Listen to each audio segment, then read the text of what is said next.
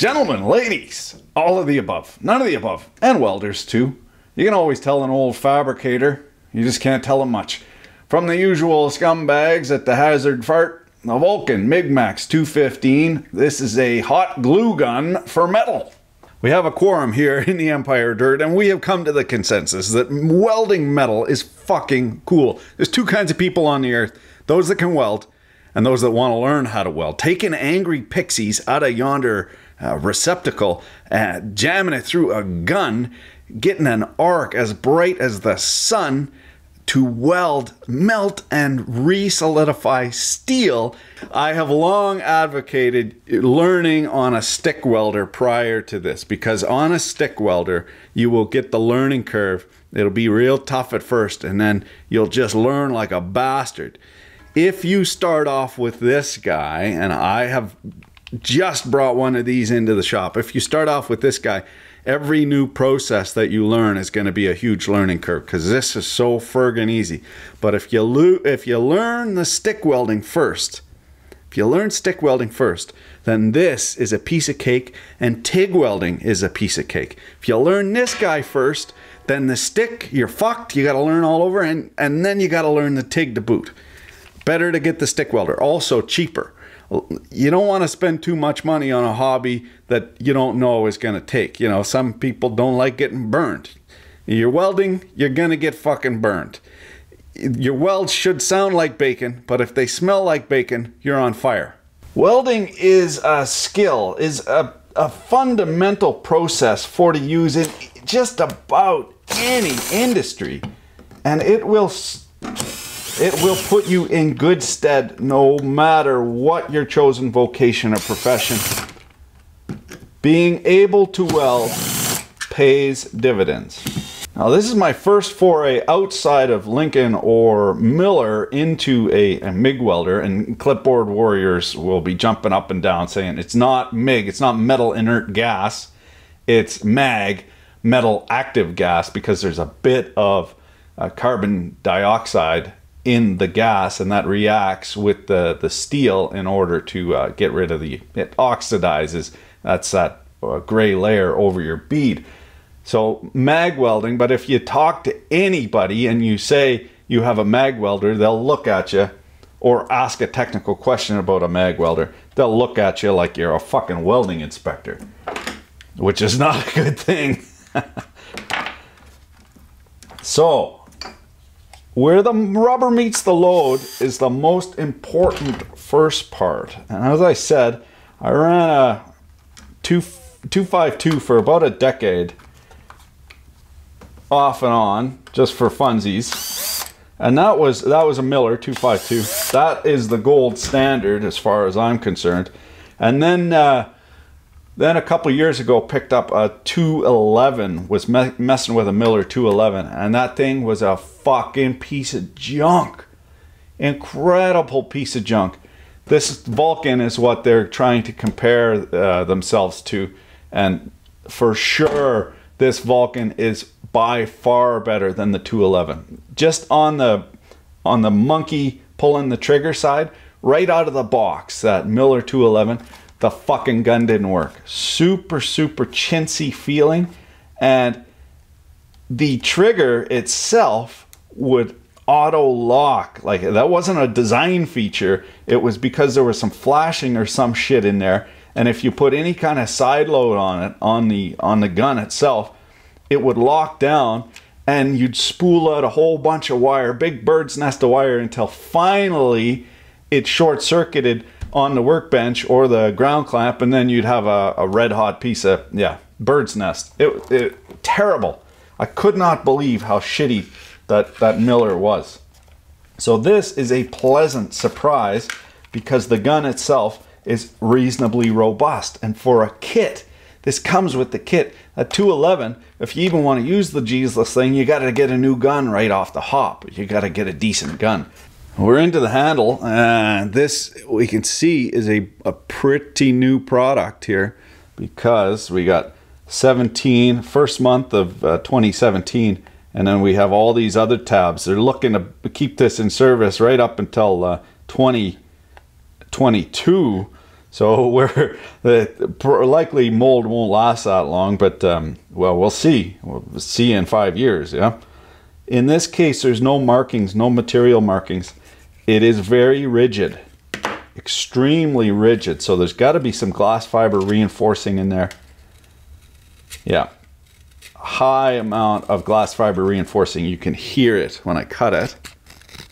As far as the material, I would guess that it's nylon, but since there's no markings, uh, we got to trust to our sniffer.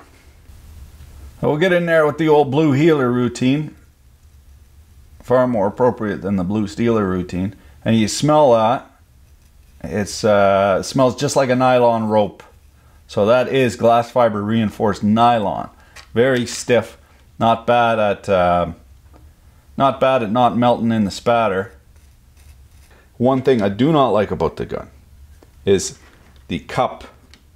The gas diffuser here is loosey-goosey on there. It doesn't sit solid. So when you strike the arc, this starts kind of moving around and it's a little off-putting if you're trying it's just one more thing to kind of worry about this thing. It doesn't fill you with confidence when the thing is moving around.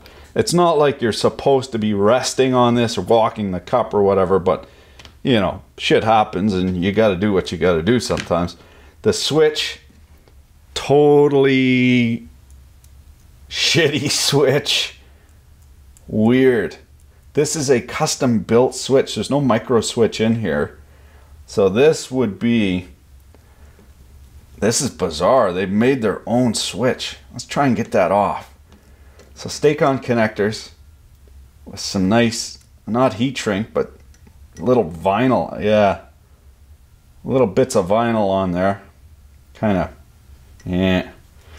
If we can get that off very strange design uh, decision made here where they've gone and made their own switch instead of getting a bog standard micro switch what's in everything from every kettle in christendom. They've gone and made their own little contact switch. So that that to me is kind of that's really weird that they could do that for cheaper than getting a bog standard switch. And now of course yeah, this isn't that great. You see the affectation there. There's a roll pin, what keeps it located in, in the handle, but the roll pin is already all off kilter there. And this is where this is where the 200 pound gorilla meets the load. So it's, yeah.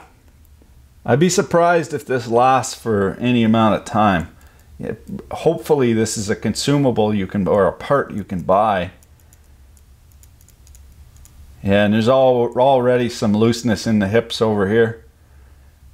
In that pin bore. It's already loose. Yeah. Well, that's disappointing. That ain't no fucking good at all. The good thing about this gun is it's not proprietary. There's no interchange, or there's very good interchangeable with other brands. All the tips are the same. So if you need thicker wire, you just change the tip and thread it in. The reason it's copper is because molten steel molten iron is not wetting on copper. Now you still get it where it burns back and melts in and then solidifies, but it should not weld itself on there. If it does, it's just in the surface pores. And the little spring here, the little spring here, it's a little bit small, it seems like, on the OD because you put it over, as I said, you put it over the OD onto that spring and the retention spring holds it real good, but it's still loosey goosey all over there. And then we see on the back end something, uh, yeah, pretty, pretty chintzy. We got a little zap strap here, a slice in the cable to, to break out the switch contacts, and then uh, like chickens tape, what they use for keeping in the ones and zeros. Course, this gets hot. It gets uh, it's gonna get totally slutty and disgusting in no time. And uh, then your cable's gonna split all the way down here. This is just this is uh, yeah. We got a little bit higher cost here a little well far better integrity tape. This is glass fiber tape for high voltage uh, cable splicing applications. I just happen to have in the box of tricks. And this will this will put us in far better stead and disgusting. This you know this vinyl tape just turns into a pile of goo. Oh, excuse me. Teachable moment. Mets tes souliers, viens-t'en ici, j'ai besoin de ton aide. Yeah, I'm coming. Tu vois là mes outils? T'as besoin de ranger ça. Away. S'il vous plaît. When you come in somebody's shop, you don't mess around and leave a mess. Whoopsie doodles. Okay, ma jolie, merci pour ton aide. What is that? This is a welding gun. Do you want to learn how to weld? Yeah. You're not too young? Four and a half? Four years old. Four years old? Are you too young? Are you ready? you ready? Okay, well, we'll I'll I'll get it set up for you later, okay? Is it loud? Nope. Quiet? It's not quiet either. But it is fun. You take metal and you take electricity and you melt the metal and it sticks together. It's like glue. Cool. Thank you. Can you help me take off my outer boot? It's hard for me to take off. No, you can. You're good. You're smart. Thanks for cleaning up. Now here's a little straw man for those uh, Instagram welders type stuck in the back bay taking pictures of each other's rainbow weaves. You, you know the type. So this is solid core wire and I had put on the the uh, serrated roller and I had a brain fart when I did that because at work anytime the welders were, were running these they would always have serrated uh, rollers. That's because they're they're doing dual shield. So they're doing spray transfer dual shield and then just had a brain fart. So I got to swap that over to to the correctly sized ah, flat V groove roller. If I could ever get that off. Before we get her upended, get get into the guts of her ass over tea kettle. You see a problem here. Plastic hinges. So they're fine under normal use, but welders never get normal use. So what'll happen is, say that's down, and you let this slam. Well, that should be okay. You can see it's tweaking this one over. But if there's ever anything hanging out like this, and you give her a slam, it's gonna break these right half in two. So hinges, plastic hinges, shitty. Trying to ginger careful the front panel off here. Got our jeweler's pry bars. Ineffectually swiping at the ribbon cable connector. They've added some Silastic or some sort of anti-tamper schmoo in there. Red glue. It's tough to get the Jesus thing out without breaking the board. Hmm. There comes a time in every man's wife you just gotta say fuck it. Let the chips fall where they may. There we go. That wasn't so bad. Hey, once you get the tip of it in, gotta jack off the knobs off the potentiometers here in order to get the board off. Not so much to see why it works, we or how it works. We know how it works. Potentiometers will be on this board. It'll feed into the into the controller inside. Just tell you what sort of. So that's an interesting knob. It does have some. What do you call it? Greebling. a little bit. A little bit extreme on the uh, accoutrement. One thing I do not like here as we see the potentiometer does not have a nut affixing it to the board so we're relying on the PCB to prevent the yeah so if you whack one of these by mistake you're actually whacking the PCB directly there's no yeah there's no nut to help that along and this is well that's a stiff piece of metal so they should have really, really should have a nut on there because if you give it a whack, it's gonna swing that, crack the board potentially. There's the board disrobed in all her grandeur. Not too bad. nothing disgusting, no jankiness, uh, no Chinesium to, to speak of. And we got nice conformal coating on here, perfect. A little bit odd where the rotary switches are directly nutted right into the PCB. It's not, you know, she's got some flexion to it. So when you're when you're reefing on these switches in a mad panic or rage, depending, um, you got to consider that you're right on the board. So just be a little bit ginger with that. And of course, if you have one of these greebled nuts on here that is a little bit loose or, or slightly proud of this board, you know, during the assembly, if it's slightly proud of this, if you give her a whack, you're actually pushing directly onto the potentiometer. And these are not all that great at axial thrust. They're not all that great at radial thrust either, but so here's the brain boxery. There's the clock there, a couple of MOSFETs, a couple of indicator LEDs, some comparators, uh, probably operational amplifiers. Look at this though. Built on board to this brain box is a USB. USB. And also on the back side of her, a tactile switch, not accessible by the operator. So what is that for? Well, got to be for programming. Hmm, might be ripe for the. Uh, well, that's the thing. There's no, there's no unlocked features. Oh, this has all the features you, you know. There's nothing. It's not like a TIG that you need more frequency or, yeah. So I don't know if you could do you, you could have a look see what's on there, but if you don't have the drivers for this thing or you don't have the programmer for that brand of chip, it might not do anything.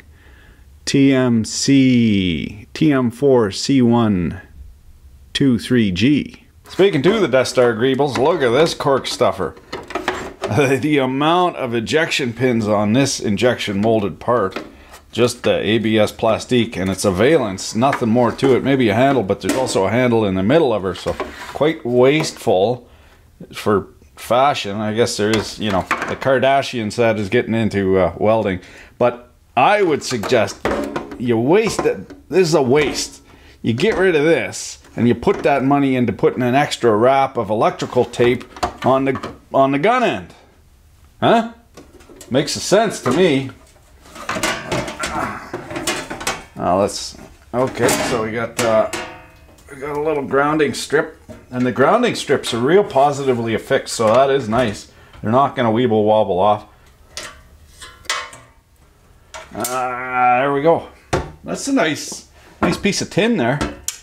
And then powder electro, uh, it's painted, but it must be electro painted. And then some nice louvers on here just to aid in dust ingress, I guess. Unless, unless this is, uh, yeah, this might be a suck fan and then it blows out here. Probably blows out here. There's got to be a filter, I would assume. Couple three dozen M6 screws, panel screws, and we are in like sin. Overall impression, a T-bag. We got some good wire management here.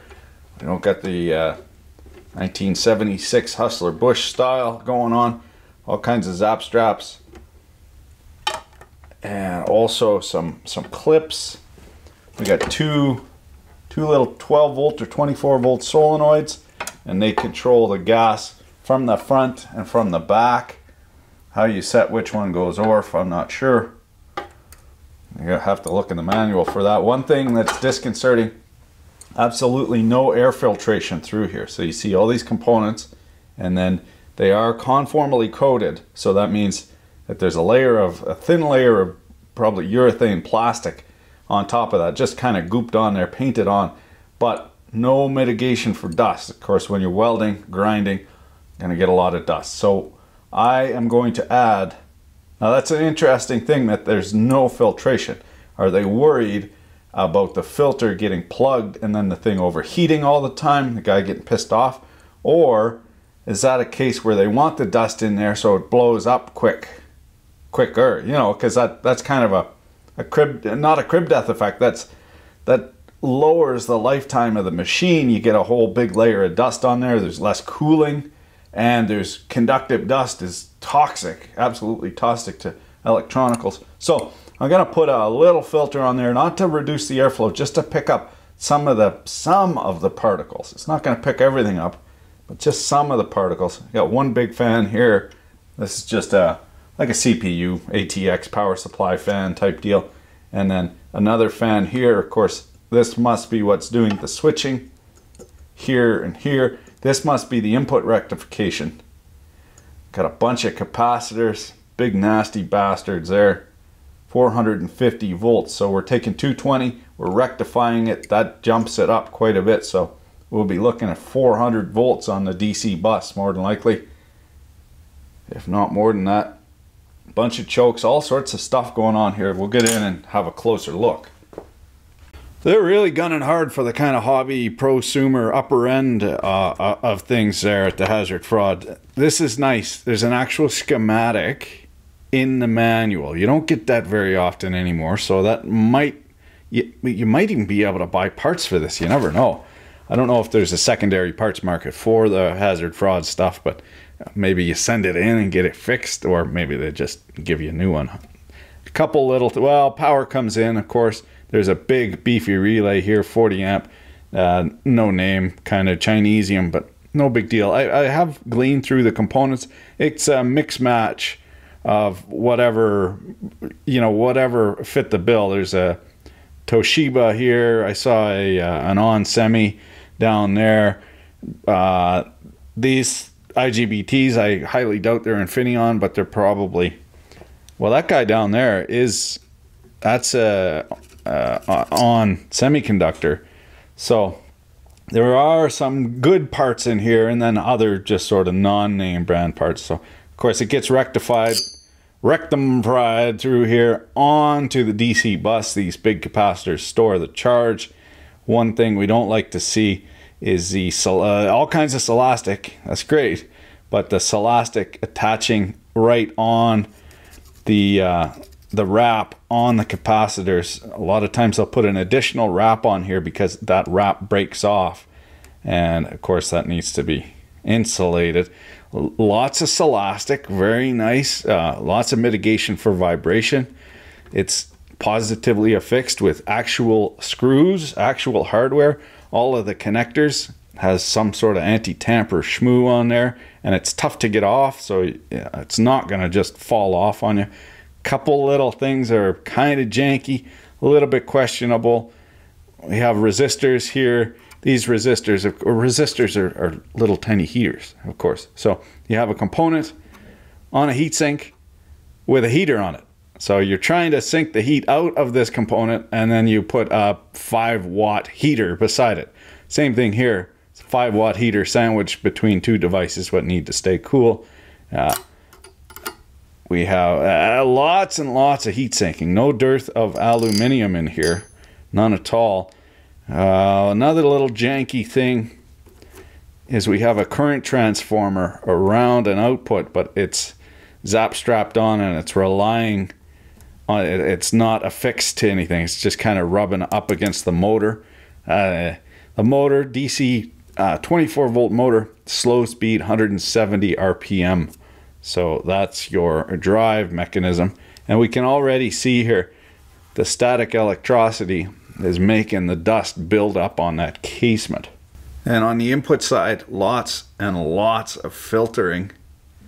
All these filter caps in here, input choke, some PCT, so positive temperature coefficient. They're essentially resistors. As the current goes up, the resistance goes up. They uh, they limit the amount of current going in. Some metal oxide varistors for voltage spikes. All lots and lots of mitigation for for noise.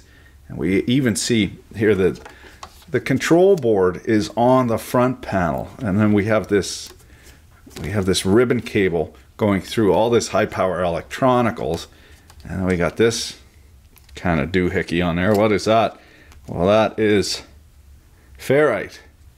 That is uh, uh, an inductor in order to reduce the high speed signaling, uh, high speed noise. Well, disappointingly, you lift up the skirts on some would be cheese grade Chinesium and your finger, you'd get some invasive species. But, well, sadly, she's uh, nothing too horrific in there to speak of. A Couple little things. Jankiness, of course, the, the gun. The gun's a little janky. So when when it craps out, you get yourself a new gun. Also, it's quite short. You know, she mightn't be but three inches, smells more like a foot. That shit don't fly. The uh, what's that joke about the blind? Uh, I went out with a blind girl last night. She gave me a hand job. Said this was the biggest one she put her hands on. I told her she was pulling my leg. what else? Oh yeah, the uh, this uh, there's a little bit of jankiness here. A little so there's a there's a washer there because this was too big of a hole. Although having a look at this, uh, Leviton, so an actual name brand twist lock in there, and it's it's got a reset uh, circuit breaker. I mean, nothing too horrific. I'm gonna go ahead and try and get this back together. In a future video, we'll do the spray transfer as well as the short circuit welding. We'll try out some different materials. I got a spool gun will come from Amazon. We'll check that out. You know, uh, looking at this, all the components in here, there, there's not much margin on, on this. This might even be a loss leader, what for uh, reducing the inherent stink lines associated with hazard fraud. They might be trying to move a little bit more upmarket. And with this offering, it's definitely not what I was expecting.